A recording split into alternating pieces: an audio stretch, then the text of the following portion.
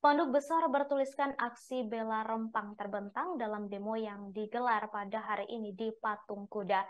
Ketua Presidium Masyarakat Banten Bersatu Rahmatullah Romeo menjelaskan aksi hari ini merupakan bentuk kepedulian terhadap masyarakat di Rempang, Batam.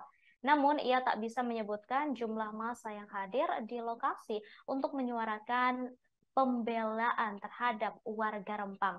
Romatullah menegaskan bahwa seluruh komponen masyarakat dari berbagai daerah turut prihatin dengan peristiwa yang terjadi di Rempang.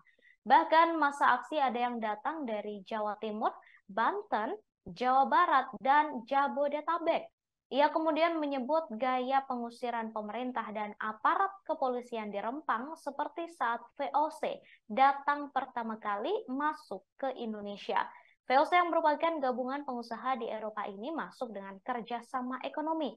Ternyata mereka justru menjajah rakyat Indonesia selama ratusan tahun dan ia tidak mau Pulau Rempang bernasib sama.